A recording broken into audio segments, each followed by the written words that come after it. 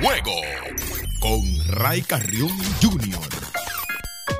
Fuego. oh, oh, oh. Continuamos con el contenido de su programa A Fuego con Ray Carrión Jr. En esta oportunidad me encuentro con Dana Riccoboni. Ella es una prestigiosa abogada ah, de inmigración. Ah, tiene su propia compañía ah, que se llama Dana Riccoboni Law Firm, right? Did I say it right? The Law Office of. Dana Riccoboni. You got it. All right. So, um, nosotros tenemos unas cuantas preguntas para usted. Muchísimas gracias por acompañarnos um, este día. Gracias. Um, señora ah, Dana, si una persona tiene, ah, no tiene familiares eh, ni tampoco tiene una relación amorosa um, aquí en los Estados Unidos, ¿qué tiene que hacer para conseguir la residencia y poder vivir aquí legalmente? Hay ciertos visas por personas que no tienen familia aquí.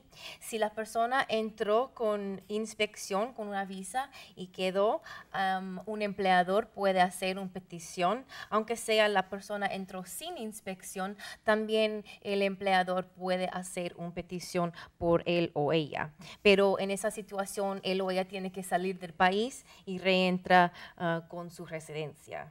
Si una persona también fue víctima de un crimen, hay ciertos visas por personas que colaboran con la policía y hay una lotería de visas por personas de ciertos países y también una persona siempre tiene la derecha a pedir un asilo político que puede salir con una residencia también.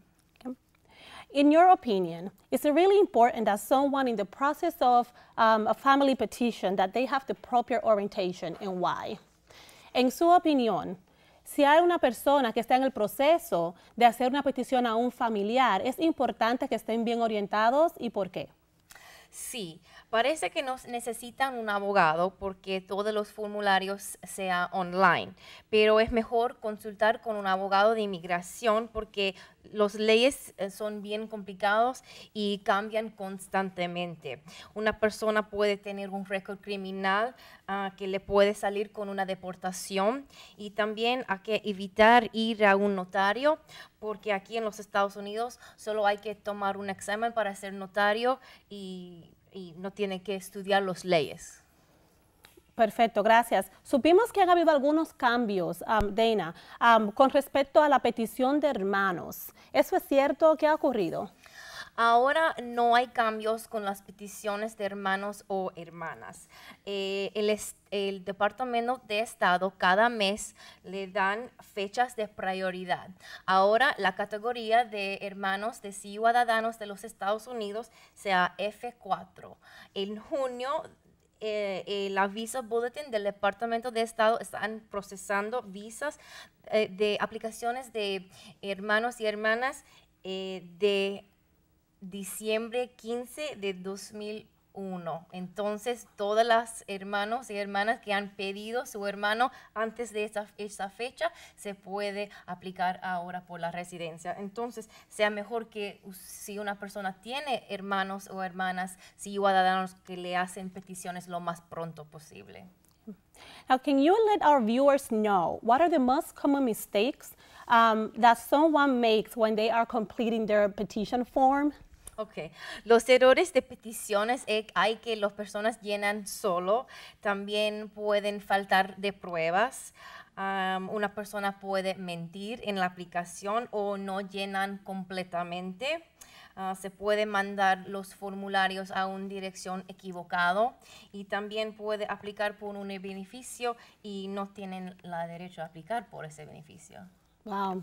Entonces, ¿usted cree, esta es una pregunta de un millón de dólares, ¿usted cree que va a haber finalmente una reforma migratoria a favor de los inmigrantes? I hope so. um, all of the changes to the immigration law throughout history have been because the people have demanded a change. So we must all stand together and demand now that the government issue immigration reform that allows everybody access to education, to employment, and to freedom. Como dijo la, la, la- la- la doctora Dana, es, eh, estamos esperando que sí. Estamos esperando y estamos luchando porque sí haya una reforma migratoria a favor de los inmigrantes. Eh, hay que esperar y hay que trabajar juntos para nosotros poder conseguir eh, ese triunfo.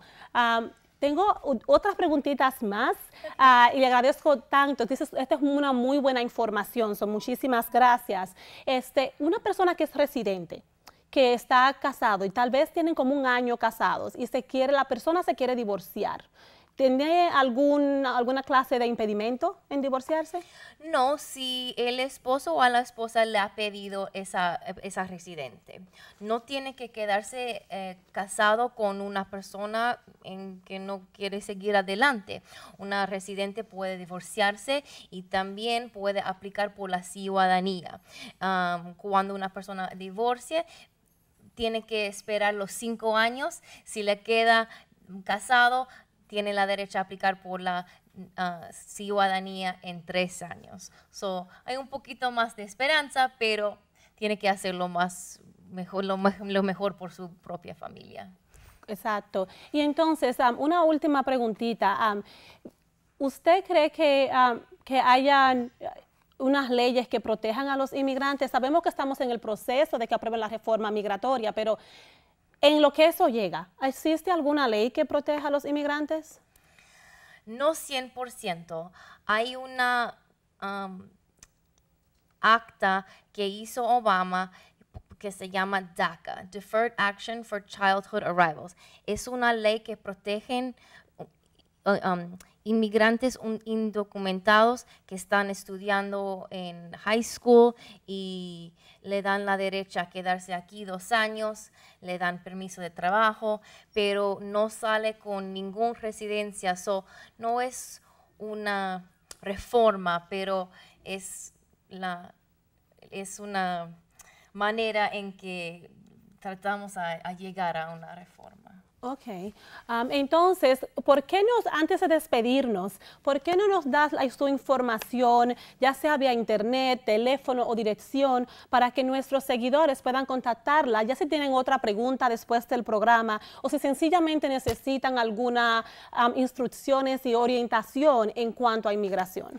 Sí, claro. Si alguien tiene algunas más preguntas, por favor que nos llamen a la oficina de nosotros. El número sea 212-587-1514 y con mucho gusto lo, lo ah, ayudo a, a- cualquier persona que, que le menciona que lo vi aquí en, en ese programa, la- lo, lo ofrece am, consultas gratuitas. Muchísimas gracias. Ah, con esto nos despedimos de la doctora Dana. Fue un placer tenerla en el programa.